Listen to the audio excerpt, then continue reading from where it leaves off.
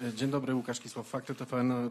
Panie premierze, chciałem tylko doprecyzować, y, kiedy przedstawi pan skład rządu i kiedy zamierza, chce pan wygłosić expose? Czy to będzie jeszcze na przykład w listopadzie, czy pan będzie czekał do końca tych konstytucyjnych terminów i na przykład będzie to 11 grudnia? I jeszcze chciałem się dopytać, jeśli chodzi o budowanie poparcia dla tego y, pana gabinetu rządu w, w parlamencie. Czy to prawda, że rozmawia Rozmawiał pan z posłami Polskiego Stronnictwa Ludowego. Czy spotkał się pan, e, spotykał się pan z nimi osobiście? No i e, czy nadal będzie pan też zabiegał o spotkanie z marszałkiem e, Sejmu Szymonem Hołownią? Szanowni Państwo, skład nowego rządu zostanie przedstawiony w poniedziałek. O expose będę chciał właśnie porozmawiać. To ostatnie pytanie pana redaktora z marszałkiem Hołownią. Zresztą warto podkreślić, podkreślić to, że pani minister Antos z kancelarii kontaktowała się z panem ministrem Cichockim, więc te drobne uszczypliwości, które pan marszałek lubi rozdawać obecnie na prawo i lewo, em, puszczam mimo uszu. Oczywiście taki kontakt takiego spotkania. Mam nadzieję, że do niego dojdzie i wówczas porozmawia, porozmawiamy o moim expose, które e, oczywiście będę chciał zaprezentować. To e, druga część pana, pytania pana redaktora. I trzecia, owszem, rozmawiamy z parlamentarzystami e, kilku ugrupowań. Dzisiaj spotykam się właściwie całkiem niedługo z parlamentarzystami e, Konfederacji, która przychodzi na spotkanie w odpowiedzi na moje zaproszenie. Bardzo się cieszę z tego zaprezentowania, które wiążą się z tym, co też stało się, czyli swoistym e, poparciem Konfederacji dla, e, dla mm, e, innych partii z tamtej koalicji, bo nie mamy pewności, czy Konfederacja popiera rzeczywiście tą koalicję, która próbuje się utworzyć, czy będzie starała się tworzyć koalicję polskich spraw. O tym także będę chciał porozmawiać. Tylko dopytać chciałem, a czy z posłami PSL-u pan się To tak jak powiedziałem wcześniej, Szanowni Państwo, rozmawialiśmy e, i ja i moi współpracownicy z kilkudziesięcioma posłami różnych formacji politycznych, ale obiecaliśmy oczywiście tutaj poufność tych negocjacji, bo wiadomo, że nasi konkurenci polityczni e, będą próbowaliby w takich przypadkach szantażować, straszyć. Już to się odbywa, a chcemy zapewnić bezpieczeństwo naszym rozmówcom. A jak pan się skłania z tym expose? Czy pan y, zamierza właśnie czekać do końca tych terminów konstytucyjnych i na przykład bliżej panu do tej daty 11 grudnia, czy y, początku grudnia lub końca listopada jeszcze? To właśnie o tym, tak jak powiedziałem, panie redaktorze, chcę porozmawiać z panem marszałkiem Hołownią. To zaproszenie moje wystosowałem już kilka dni temu. Mam nadzieję, że w przyszłym tygodniu pan marszałek znajdzie czas na takie spotkanie. Bardzo proszę, pan redaktor. Dzień dobry, Karol Darmoros, Polskie Radio. Panie premierze, trzy kwestie. Pierwsza, y, protest y, części środowisk transportowców na granicy z Ukrainą.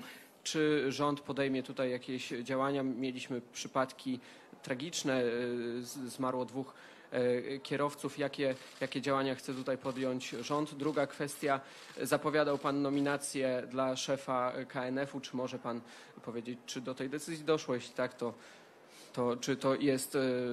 I trzecia kwestia właśnie w kontekście terminu expose i zbliżającego się też szczytu unijnego 13 grudnia szczyt z Bałkanami Zachodnimi 14-15 Rada Europejska. Czy jeśli nie uzyskałby pan y, wotum nieufności, to na ten szczyt powinien pojechać nowy premier, czy powinien to być y, Donald Tusk? Dziękuję. Szanowni Państwo, jeśli chodzi o tą e, bardzo nie, nie, niedobrą sytuację na granicy, pamiętamy zresztą już z niedawnej historii, z niedawnej przeszłości, że do tego typu blokad dochodziło, to poprosiłem pana ministra Adamczyka o bardzo pilne interwencje i wiem, że pan minister Adamczyk rozmawia ze środowiskami transportowców, środowiskami mm, przewoźników, rozmawia również i rozmawia ze stroną ukraińską i dzisiaj po południu taki raport na moim biurku e, się znajdzie. E, Chcę też, żeby e, przedstawiciele Ministerstwa Infrastruktury, pan minister Adamczyk bądź jego zastępcy m, bezpośrednio e, na granicy rozmawiali o tym, jak rozładować e, ten korek, który tam się pojawił, jak rozładować również ten konflikt, który tam się pojawił. Co do drugiego pytania pana redaktora, tak, e, podpisałem nominację pana profesora Jacka. Profesor znakomicie sobie poradził z no, bardzo poważnymi perturbacjami na rynku finansowym w ostatnich pięciu latach. Mm, To doktor habilitowany mm, specjalista prawa, znakomicie orientuje się w specyfice prawa europejskiego, prawa finansowego. Mm, Ze świecą szuka, szukać lepszego fachowca, dlatego zdecydowałem się na przedłużenie misji pana profesora. E, Trzecie pytanie. E, to pytanie przede wszystkim do pana prezydenta. Jeżeli nie uzyskamy y, wotum zaufania większości sejmowej, to od tego, kiedy pan prezydent zdecyduje się zaprzysiąc nowy rząd, będzie zależało to, kto pojedzie na Radę Europejską. Ja tylko przypomnę, że zasada ciągłości funkcjonowania państwa polskiego polega na tym, że na przykład rząd, który ustępuje teraz, cały czas jeszcze pracuje, działa e, do momentu, kiedy zaprzysiężony zostanie w najbliższy poniedziałek nowy rząd. I ten nowy rząd będzie działał do momentu zaprzysiężenia przez pana prezydenta tego kolejnego rządu, jeżeli kolejny rząd będzie potrzebny. Tak działa nasza konstytucja i jej się trzymamy. Dziękuję bardzo. TVP Info. Właściwie za sprawą polskich y, europarlamentarzystów, europosłów, y, Parlament Europejski przyjął rezolucję, która ma zmienić traktaty Unii Europejskiej. Jak pan oceni decyzję polskich, euro, y, polskich przedstawicieli, którzy startowali z list Koalicji Obywatelskiej Mm, i też y, gdyby pan raz jeszcze mógł przypomnieć, jakie największe zagrożenia te zmiany w traktatach y, mogą wprowadzać w kraje członkowskie. Rzeczywiście to sprawa niezwykłej wagi. Otóż e, z list Koalicji Obywatelskiej startowali posłowie, którzy, europosłowie, którzy dostali się do Europarlamentu i wbrew zapowiedziom Tuska niestety głosowali e, za tym, aby e, do dalszej części przeszły, przeszła, przeszła ta procedura, która dotyczy zmiany traktatów. A ta zmiana traktatów wiąże się z fundamentalną sprawą dla Polski, z zasadniczym, kardynalnym zagrożeniem dla Polski. Otóż, czy chcecie Państwo, aby to Bruksela decydowała o tym, czy policja obcego państwa może wjeżdżać na terytorium Polski i aresztować polskich obywateli? Albo czy chcecie Państwo, aby to Bruksela decydowała o tym, jaka ma być wysokość podatku od małych i średnich firm? My obniżyliśmy go z 19 na 9% dla mm, tych, którzy płacą we Francji. Taki podatek jest na poziomie 30 kilku procent. A więc Bruksela będzie chciała e, uniformizacji, bo już to zapowiadali wiele razy. Czy chcemy tego, drodzy rodacy? Czy chcemy, żeby ktoś w Brukseli decydował nam o tym, co mamy jeść, jakimi samochodami mamy jeździć, czy mamy wyłączyć z użytkowania na przykład samochody spalinowe, albo że ma się pojawić nowy podatek jakiś, który będzie szedł do mm, bu- budżetu brukselskiego. Albo że na bezpieczeństwo polskie, o czym powiedziałem wcześniej, będzie zależało również od wimi- widzimisię kogoś w Berlinie czy w Brukseli. No, ja tego wszystkiego nie chcę. E, Sądzę, że ogromna większość Polaków, wszyscy polscy patrioci tego nie chcą.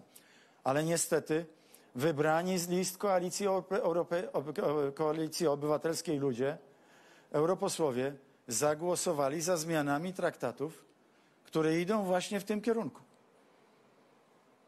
Szanowni Państwo, to niezwykle poważny moment w naszej historii, bo jeżeli dojdzie do tej zmiany, a, a ten wal brukselski potrafi wszystkich przemielić. Widzieliście to zresztą w ostatnich kilku latach, że tylko Polska i Węgry potrafiły się postawić Unii Europejskiej, potrafiły się pos- postawić Komisji Europejskiej. Jak zabraknie rządu, który twardo stawia polskie sprawy, to będą potrafili przemielić wszystkich innych w sposób absolutnie całkowity. A wtedy dojdzie do czegoś dramatycznego. Wtedy państwo w formie ustrojowej, w jakiej znamy i kochamy Polskę, po prostu przestałoby istnieć. Niestety do tego prowadzą te zmiany traktatowe. Jak ktoś uważa, że to jest przesada, to drodzy rodacy, bardzo serdecznie zachęcam wszystkich. Tam jest 260 kilka obszarów, które mają przejść de facto jako kompetencja do Unii Europejskiej. Miks energetyczny. Tego nie wymieniłem. A co to znaczy? To znaczy, że Turów byłby zdalnie, za chwilę nam pozamykają. Już Platforma Obywatelska przebiera nogami, żeby górnictwo jak najszybciej wyeliminować. to znaczy, że będziemy mogli się opierać tylko na gazie, pewnie z powrotem ruskim, bo niektórzy w Europie Zachodniej dążą już teraz do powrotu do normalnych relacji z ruskimi, z Rosją, albo na bardzo drogim gazie z Bliskiego Wschodu. Tego też przecież nie chcemy. Chcemy opierać się o polski atom, ale atom się nie podoba Niemcom. Niemcy likwidują teraz wszystkie swoje elektrownie atomowe. To wszyscy wiedzą. Więc będziemy skazani na import energii elektrycznej albo na gaz z Rosji. Dziękuję bardzo. Do tego prowadzi ta zmiana, którą Parlament Europejski przegłosował. Donald Tusk przestraszył się tego i kilka dni temu powiedział, po tym jak usłyszał, co my mówimy na ten temat, przestraszył się tego i powiedział, że em, europarlamentarzyści będą głosowali e, przeciw tej regulacji. I oni się podzielili, sprytnie się policzyli i część głosowała za tym i dzięki nim również ta regulacja przeszła przeciw, przeciw temu, po to, żeby znowu mamić Polaków, oszukiwać Polaków, jaki jest ich prawdziwy cel. Ale mam nadzieję, że Polacy przejrzą tą grę. Bardzo proszę, pan redaktor. Dzień dobry, Sebastian Napieraj, TVN24. Kilkudziesięciu parlamentarzystów, takiego określenia użył pan premier, jeżeli chodzi o te rozmowy i poszukiwanie koalicji, mm, pozyskiwanie poparcia, to chciałem zapytać, ilu z tych rozmówców konkretnie wyraziło chęć poparcia pańskiego rządu?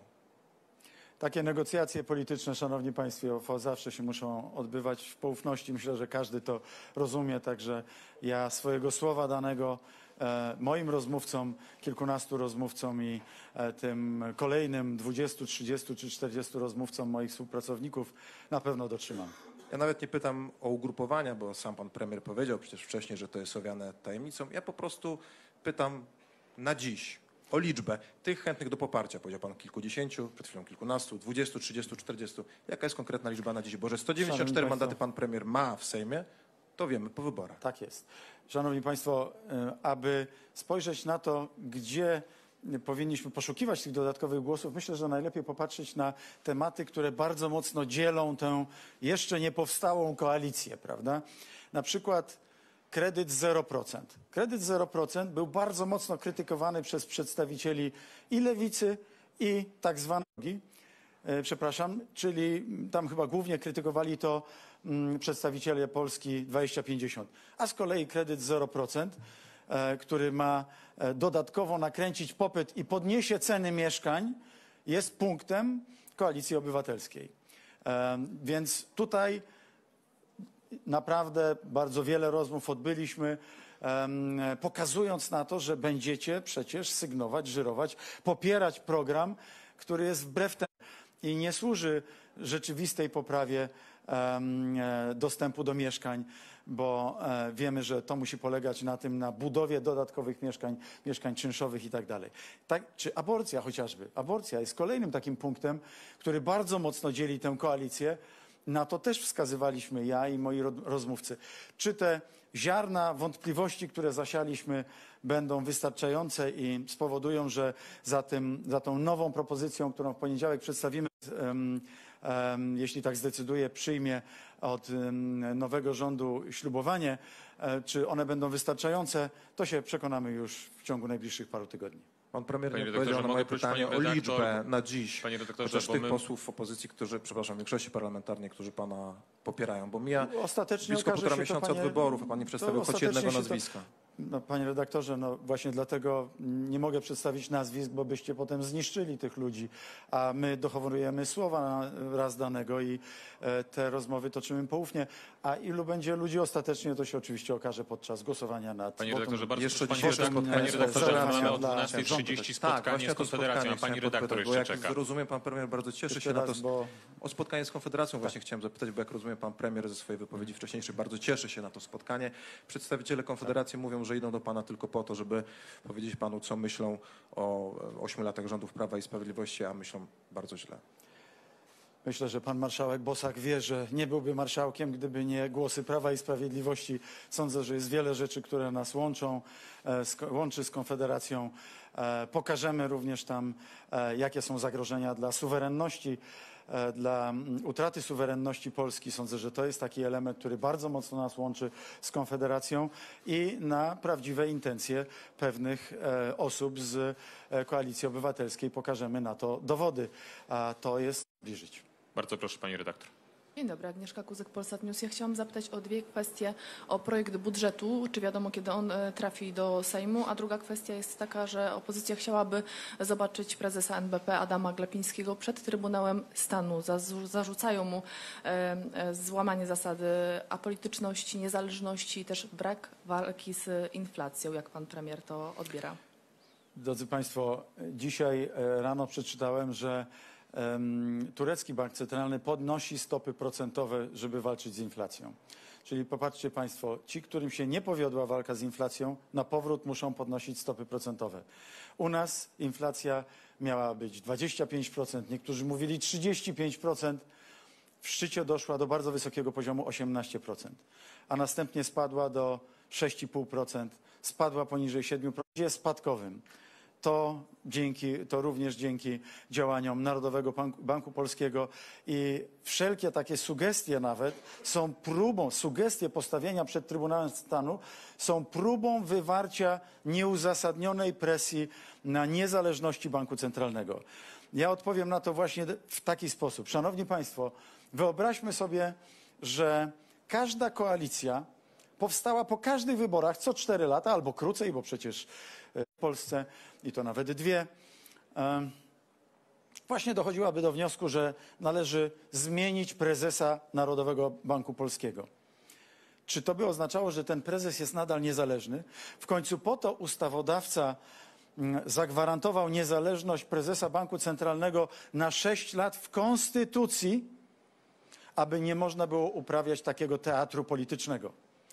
Jeżeli każdorazowo koalicja powoływana czy zwycięska partia dążyłaby poprzez większość w Trybunale Stanu, bo może nie wszyscy Polacy wiedzą, że właśnie po wyborach odbywają się wybory e, w Sejmie do Trybunału Stanu i w Trybunale Stanu większość zasadniczą ma e, koalicja tworząca rząd w przyszłości lub taka, która ma największą szansę utworzyć rząd w przyszłości lub po prostu zwycięska partia.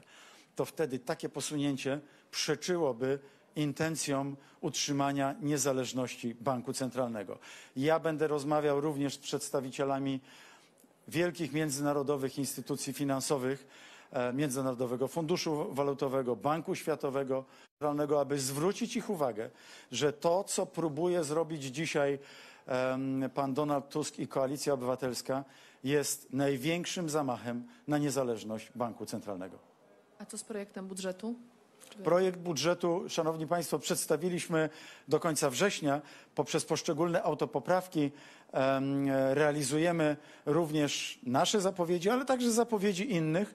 I w najbliższych dwóch tygodniach ten rząd, który zostanie prawdopodobnie zaprzysiężony w poniedziałek przez pana prezydenta, będzie prezentował kolejne ustawy z dekalogu polskich spraw. One również mogą mieć wpływ właśnie na budżet e, i dlatego załączone do nich będą również elementy aktu. Tak zresztą robiliśmy bardzo często w poprzednich latach. Tym, którzy mówią, no teraz mówicie o zerowym VAT-ie, a wcześniej. Szanowni Państwo, dwa lata temu też na tym e, etapie prac budżetowych nikt nie mówił o zerowym VAT-ie na żywność. Nikt nie mówił o zerowym VAT-ie na gaz czy na energię elektryczną. A w styczniu, w lutym wdrożyliśmy to po odpowiednich zmianach budżetowych. Ba, rok temu było bardzo podobnie. Na tym etapie nie było jeszcze mowy o zerowym VAT e, takiej regulacji w budżecie. Wdrożyliśmy ją od stycznia. I tę wiarygodność chcemy kontynuować. Tak samo i teraz po raz trzeci, dwa razy to zrobiliśmy, po raz trzeci zerowy VAT na żywność, prosta autopoprawka budżetowa. Mm, e, Posłowie Prawa i Sprawiedliwości już taką poprawkę w postaci ustawy składają. Dziękuję bardzo. Można Szanowni Państwo, jeszcze jedno, panie redaktorze, dosłownie mamy krótkie za o pięć piękną minut. Nie, Polskę, panie pan redaktorze, przedstawiał dziękuję bardzo. Szanowni Państwo, dziękuję bardzo Dziękuję serdecznie. uprzejmie. Dziękuję. Dziękuję.